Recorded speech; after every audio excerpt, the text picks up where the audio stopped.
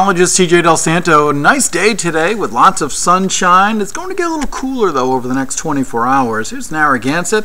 See, we've got lots of sunshine, some puffy cumulus clouds, few people mulling around there on the beach. Satellite radar picture really quiet across the entire northeastern United States, but take note of this batch of clouds and showers off to our north. Some of that's going to be working its way into southern New England later tonight and into tomorrow morning. Tomorrow we do have the chance for some sprinkles, maybe a couple brief showers, and that's really about it.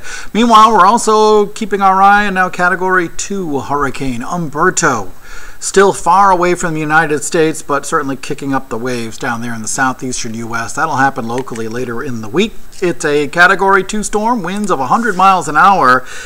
Air Force uh, Hunter aircraft continue to uh, investigate the storm and seeing a continued increase in strength. Could become a Cat 3 hurricane over the next couple of days, maybe briefly as it works its way on off to the uh, north and east, passing to the north of Bermuda uh, with winds close to 110 miles an hour. Certainly uh, not a direct hit to Bermuda, but we are looking at certainly some wind, some rain, and some big waves there. Hour by hour forecast locally, it's pretty quiet. We are expecting to see uh, dry skies into the evening, few clouds around.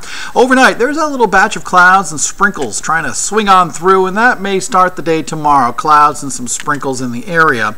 Taking you into the evening, I think we're clearing out for the afternoon and for your Wednesday evening, but kind of chilly tomorrow. Forecast for today, about 71 degrees.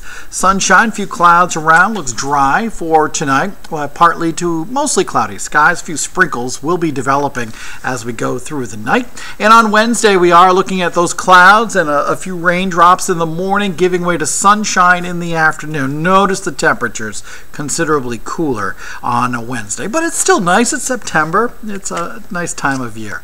Hey, uh, be sure to follow me on Facebook, Instagram, and Twitter for a lot more weather related information. So we're looking at quiet weather today, maybe a few sprinkles late tonight and tomorrow morning. Then we're back into the beautiful stretch of weather here in southern New England.